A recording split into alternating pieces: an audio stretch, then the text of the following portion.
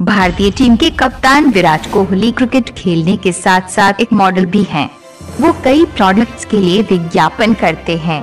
हाल ही कप्तान साहब एक इवेंट में गए थे, जहाँ कुछ ऐसा हुआ कि वो ट्रोलिंग का शिकार हो गए।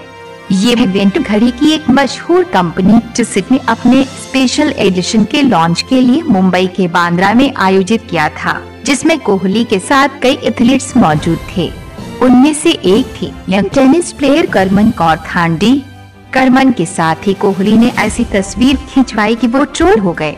उनतीस वर्षीय कोहली की हाइट पाँच फीट नौ इंच है, जबकि 20 वर्षीय करमन की लंबाई 5 फीट 11 इंच है। इवेंट के दौरान विराट और करमन को घड़ी पहनकर एक तस्वीर खिंचवानी थी। तो विराट ने हाइट में करमन के बराबर दिखने के लिए स्टेज पर बने एक ब्लॉक का सहारा लिया। विराट की यही हरकत कुछ लोगों को पसंद नहीं आई।